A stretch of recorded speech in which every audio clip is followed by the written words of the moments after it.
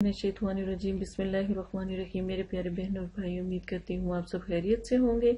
अगर अब तक आपने हमारा चैनल सब्सक्राइब नहीं किया तो जल्दी से मेरे प्यारे बहन भाई बहन के भाई चैनल को सब्सक्राइब कर लें, ताकि आने वाली तमाम वीडियो आसानी आपको मिल सके। आज जो मैं आपको वजीफ़ा बताने लगी हूँ। बहुत प्यारा है, बहुत नायाब है। तरकीब जो उनसी है, इसकी वजीफे की भी मैं आपको बताती चली हूँ। अरूज माह में कोई सा भी दिन हो, मंगल और हफ़्ता ना हो, ठीक है?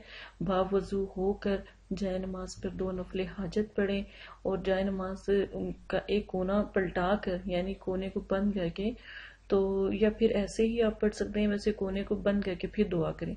दो नफल हाजत आपने पढ़नी है। और एक सौ पचहत्तर मरतबा आपने या रोफू का विरद करना या रोफू का। अब रो, या रोफू का विरद किस तरह करेंगे? जिसको हम मुसखर करना चाहते हैं ना, जैसे आपने पढ़ा, या रोफू। ठीक है? उसके बाद उसका नाम और उसकी वालदा का नाम आप ले दीजिएगा, ठीक है? और साथ में जो है आपने बिस्मिल्लाह से शुरू करना है, अव्वल आके द्रूशिफ जो है ग्यारह ग्यारह मरतबा लाजमत पढ़ना है ठीक है? और मतलूब का तस्वुर रख के आपने अमल करना है इनशाला मतलूब बेकरार होकर हाजिर होगा। ये अमल कम अज कम आप तीन से सात दिन तक लाजम करें, ठीक है? और ईशा की नमाज़ के बाद भी कर सकते हैं, फजर के टाइम भी कर सकते हैं तहजद के, लेकिन रात के वक्त, अंधेरे में करें। मतलब कि जब अंधेरा छा जाए ना, मगरिब के बाद भी कर सकते हैं, लेकिन मगरिब के बाद भी सूरज इतना ज़्यादा डीपली जो उनसे गुरूब नहीं होता तो इस वजह का थोड़ा सा ख्याल रखें। और इनशाला इनशाला मकसद में आपको कामयाबी मिलेगी। ये बहुत मुजरब और आजमूदा वजीफ़ा मैंने आपको बताया, इसकी कदर जानिएगा।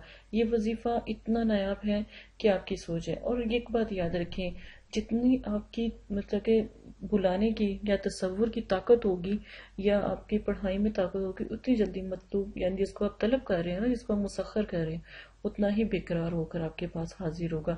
देखिए शुरू शुरू में तो आपको बहुत ज़्यादा जैसे बेचैनी होगी या जैसे कोई ऐसे, कोई आपको तंग कर रहा है या कोई आपको जैसे कोई तकलीफ़ हो रही होगी, ऐसे जलन सी महसूस होगी, लेकिन इनशाला इनशाला उसके बाद ऐसा कुछ नहीं होगा।